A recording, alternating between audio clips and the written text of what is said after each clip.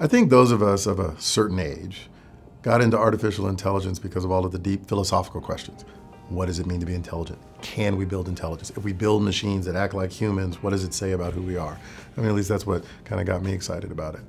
What makes me excited about CBMM is that it took those vague questions that I had and that so many of us had that got us interested in sort of the science fiction of AI and turned it into real science really trying to understand what neuroscience, what engineering, what biology can tell us about how intelligence works, how our mind works, how our brains work, and how those things come together.